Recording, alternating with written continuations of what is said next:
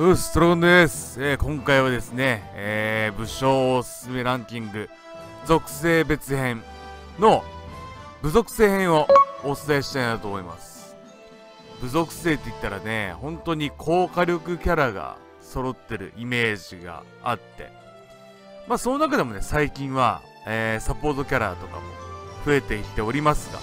そんなね、有望キャラ揃いの部属性編、そちらの方をお伝えしていこうかなと思いますので、楽しみにしててください。今回もトップ10でね、えー、お伝えしていこうかなと思いますので、はい、えー、武将選びの参考にしてみてください。それでは、始めていきましょ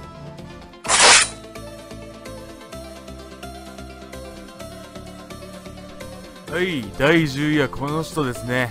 共演にしました。えー、部族性弓武将、鬼人がですね、えー、放物庫の破壊要因として使えるほどの、あのー、攻撃範囲を誇り、えー、あと会心率の高さですよね、55%というところで、会心率は非常に高い。あとはね、必殺で相手にですね、えー、攻撃封印付与、あとは自軍への攻撃速度アップ、そういうバフもかけることができます。またね、えー、敵軍に対しての攻撃力ダウンという技能も非常に強いと思いますので、えー、10位は、えー、共演ではないでしょうか。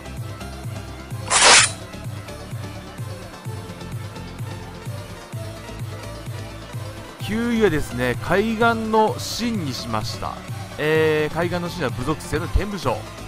えー、必殺の円形広範囲っていうところが優秀で、非常に使いやすい武将だと思います。まだ一定期間なんですけど、移動速度、えー、アップっていうところがあるので、まあ、あの開幕からですね、えー、攻撃していくっていうところで、まあ、それこそね、えー、必殺ゲージをね、えー、しっかり上げる武将と組ましていけばね、非常に力を発揮するんではないでしょうか。まあ、あとはね、あの、副艦のカイネ、移動速度倍化の副艦がいるんですけど、そのカイネとね、非常に相性がいいかなと思うんで、えー、カイネと使ってあげたらいいのではないでしょうか。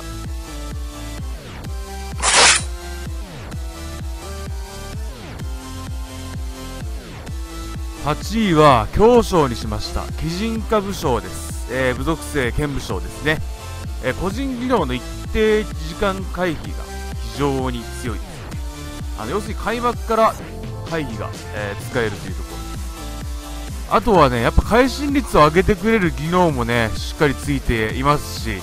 まあもともとの会心率素の会心率も、え高いというところも、え十分使えるのではないでしょうか。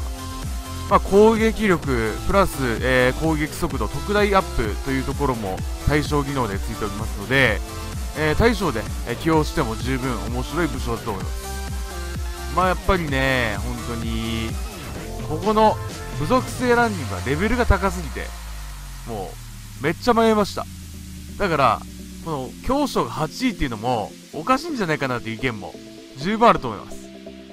なので、まあ、そこは皆さんの好みの問題っていうところもあると思うんですけど、えー、もっと上の順位に行ってもおかしくない武将です。それだけ強いです。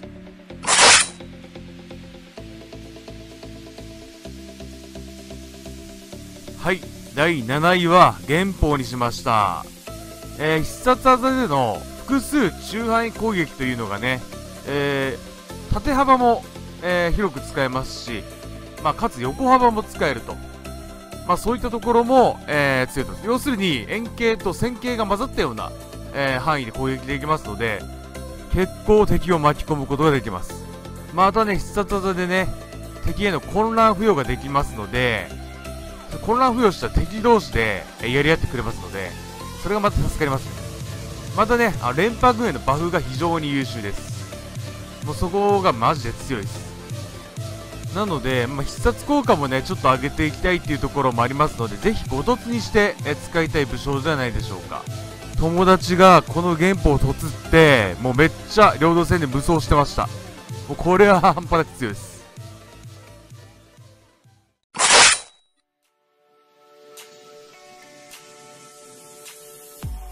はい、6位は、鬼人化のモーブにしました。えー、部族性の槍武将ですね。えー、まあ、高火力かつ円形広範囲の必殺技を持っておりおまけにバフまでついているというところであとはね、HP75% 以下なんですけど、えー、攻撃力必殺ゲージ上昇速度アップ。なので、追い込まれれば追い込まれるほど強い武将なのかなと思います。まあ、モーブらしく縦兵で耐久力もあるんで、壁としても非常に優秀ではないでしょうか。えー、6位はモーブにさせていただきました。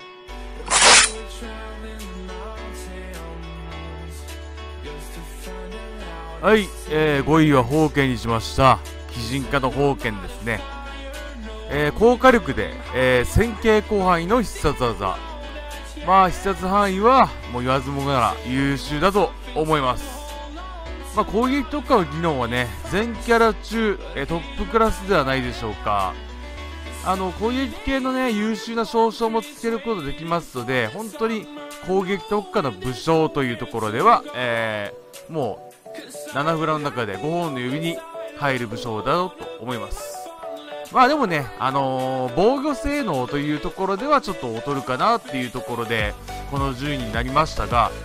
もう非常にもう火力で押し切るっていうところではね、この武将はもうめちゃめちゃ強いと思いますね。さすが、え、武神じゃないかなと。武神ならではの能力を、えー、誇っていると思います。星7の方形もね、非常に強いと思いますし、まあ、この基人化の方形もね、使い分けは十分できるかなと思います。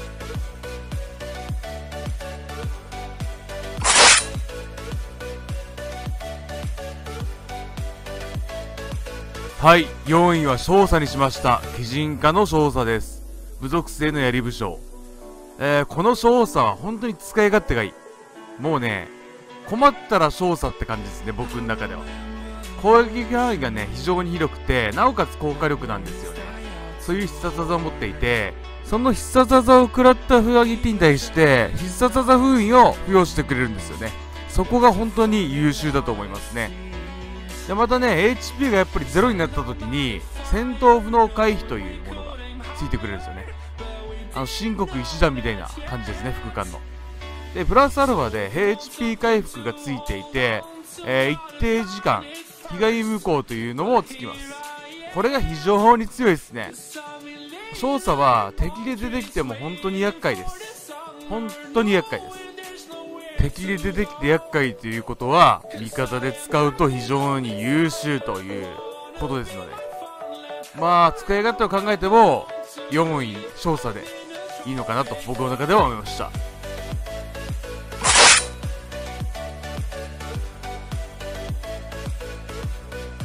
はい、第3位は、えー、洋丹話にしました。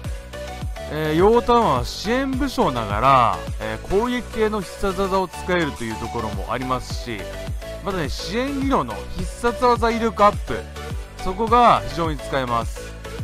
またね、えー、個人技能の対象依存、攻撃速度アップ、ここも非常に優秀ですね。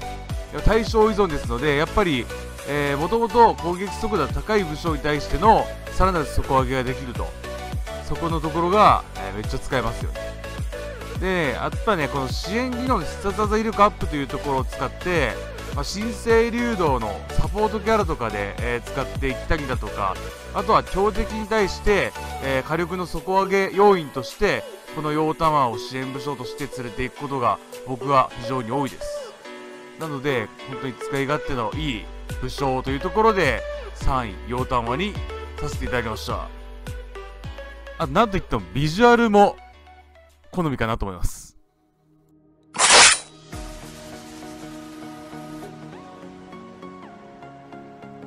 はい。第2位は、モーゴーにしました。鬼人化のモーゴーです。まあ、火力が非常に高いっていうところはもう皆さん知ってると思うんですけど、必殺技も範囲もそこも問題なし。あとね、自軍の攻撃力まで上げてしまいます。またね、自軍2人以上で使える個人技能もついておりますし、攻撃力特大アップというところも、えー、非常に強いのではないでしょうか。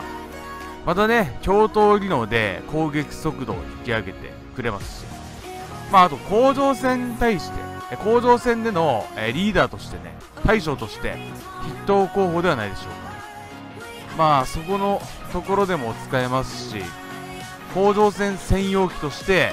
非常に力を発揮するのがこの白鳥名人の猛虎です。さあこの大激戦の部族性ランキング制した武将はこの武将です。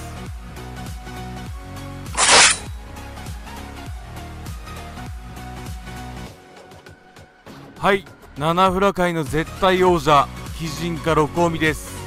栄えある1位に輝きました、えー、部族性の槍武将、えー、火力攻撃速度。あと攻撃範囲。全てで高水準のミスターパーフェクトですね。あのー、やっぱね共闘技能で必中もついてはいるんですけど、まあ、部族性3人以上入れれば対騎馬兵の攻撃力倍化というところも非常に使えますしあとはこの録音の強さの象徴である対象技能の良さでしょうね。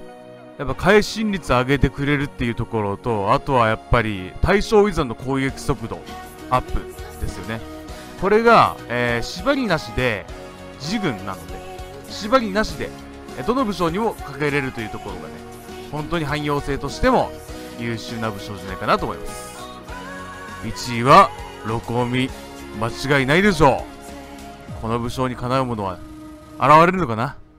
どうかな？今後の新規武将が楽しみです。はいいかがでしたでしょうか？今回は、えー、部族性ランキングお伝えしてまいりました。まああの皆さん賛否両論あると思いますが、えー、コメント欄でいろいろコメントしていただけると嬉しいのでよろしくお願いします。まあ、チャンネル登録と高評価この動画が少しでも良ければよろしくお願いいたします。以上です。ご視聴ありがとうございました。